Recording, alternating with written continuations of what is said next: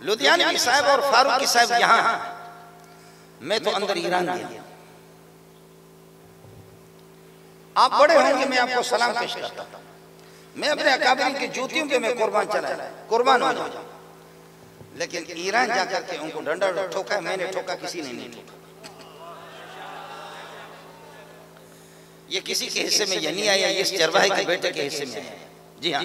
اور اب بھی ایرانیوں سے پتہ کرو بلوچوں سے پتہ کرو۔ ہمیں تو یہاں پاکستان میں کوئی جانتا نہیں جتنا ایرانی جانتے اور ایران میں میرا نام ہے کتا۔ نام رکھا کہ سگے کے از پاکستان آمدہ۔ بسیار اوعو کر۔ چطور بود امسان امسان چطور بود کمیسون شما۔ آپ کی اس وقت کانفرنس یہ بحث مباحث آپ کے کس طرح رہی؟ کہ بسیار خوب تر بود لیکن سگے کے پاکستان آمدہ بسیار اوعو کر پاکستان سے کتا آیا اس نے بڑا تنگ کیا۔ ہم صحابہ کے کتے ہیں، تم خنزیر ہو تمہیں چھوڑیں گے بھی آپ سمجھے؟ ہم صحابہ کے کتے ہیں، تم خنزیر ہو۔ اور تمہیں کسی صورت میں چھوڑنا نہیں۔ آپ سے عرض کروں کہ اب انہوں نے یہ راستہ چھوڑا ہے۔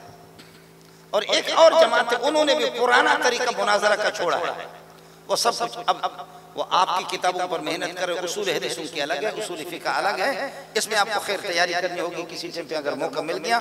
یہ پرانا آپ کا ذخیرہ میں نے بہت پڑھا بہت پڑھا بہت پڑھا۔ ان حضرات نے اس اعتبار سے جو ان کی جو بکواسات تھے، ان کا خوب جواب دیا ہمارے قبری نے۔ لیکن اب انہوں نے راستہ بدلا ہے۔ چونکہ مدینے میں مجھ سے رابطہ کیا، جامع اسلامی مدینہ منورہ کے اساتذہ نے۔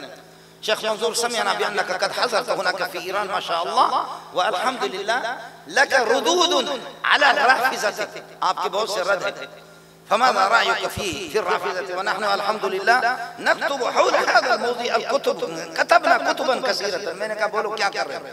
تو انہوں نے کہا، یہ کیا یہ کیا یہ کیا۔ شیخ بدیر نے مجھے بتایا، یہ کیا یہ کیا یہ کیا۔ میں نے کہا، یہ فضول ہے، کسی کام کا بھی۔ اب راستہ انہوں نے بدلا ہے راستہ بدلا اگر موقع مل گیا مجھے اور آپ کو تو انشاءاللہ ہم گفتگو کریں گے لیکن کچھ بھی کرے وقت مکروا مکرہم وعند اللہ مکرہم وإن كان مکرہم لتزول منہ الجبال پہاڑ کچھ بھی کرے، کچھ بھی کرے، جس پر بھی کرے، صحابہ آسمان پہ پہنچے ہوئے۔ اور اگر ہیلی کاپٹر آ جائے، کوئی اپنے مقد کو اوپر کرے ٹر تو ہیلی کاپٹر نہیں گرے گا۔ اس کے لیے اس کے لیے سکیل چاہیے۔ اس کے لیے اللہ بلا کے راکٹ چاہیے۔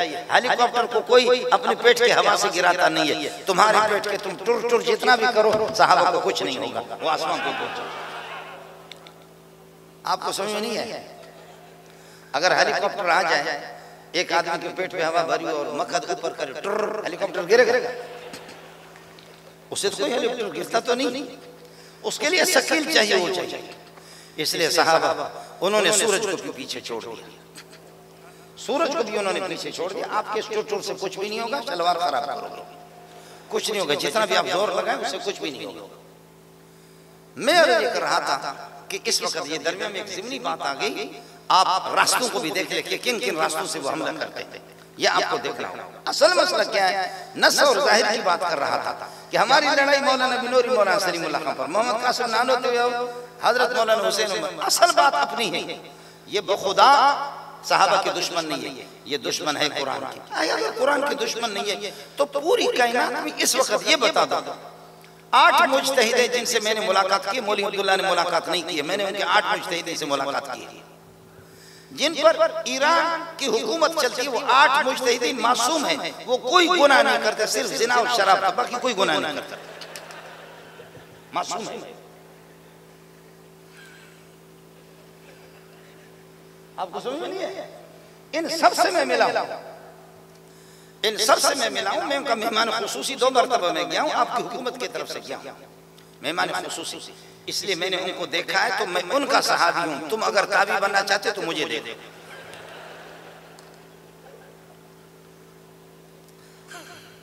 آپ کو سمجھ میں نہیں ہے؟ جتنے بھی ان کے ائمہ معصومین اس وقت کی خامنہ یہ اور اللہ کا خمینی ہے۔ اور پھر یہ کہ آیت اللہ منتظری ہے۔ شیرازی ہے۔ ناصر مکارم ہے۔ آقا سلیمانی ہے۔ اور اللہ کا شیخ حسین حسابی ہے شیخ جلالی ہے سب سے میں ملا اصل اسپیشلسٹنگ کے ماہر یہی حضرات پوری دنیا میں یہی ان حضرات سے ان میں سے ایک بھی حافظ قرآن نہیں ہے یہ اصل معصومین ہیں ان میں سے ایک میں حافظ قرآن اور خام خواہ پھر وہ کہتے ہیں اہل بیت زندہ باد اہل بیت زندہ باد اہل بیت کے وہ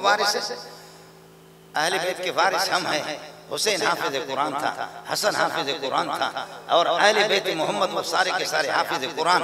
فاطمہ چکی چلاتی ہے تب بھی قرآن پڑھتی ہے محمد کی بیٹی۔ چکی چلا رہی ہے۔ ہاتھوں پہ یہ کہ ورم آ گیا سینے زخمی ہو گیا وہ پوری تفصیلات بخاری میں پڑھتے رہتے ہیں۔ لیکن پھر بھی وہ قرآن پڑھتی ہے حافظ قرآن۔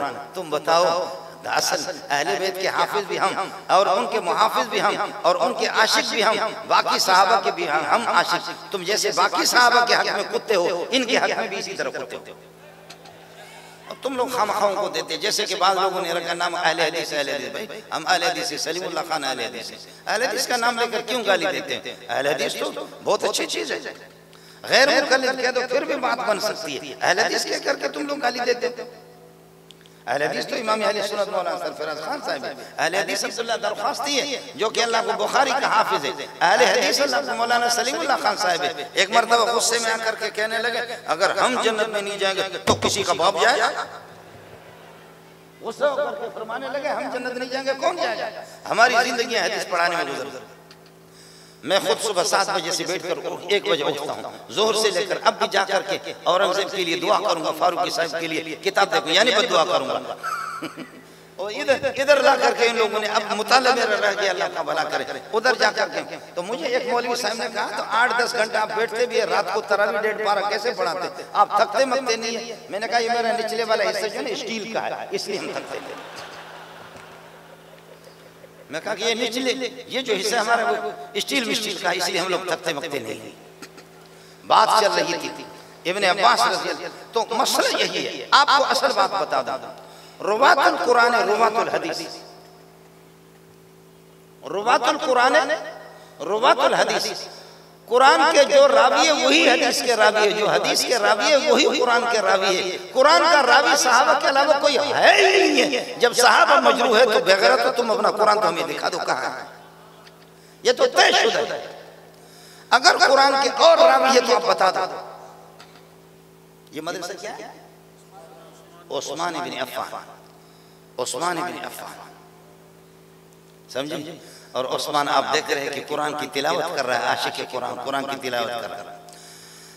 فإن آمنوا بمثل ما آمنتم به فقد اهتدوا وإن تولوا فإنما هم في شقاق فسيكفيكهم الله وهو السميع العليم اس آیت پر عثمان کا خون موجود ہے۔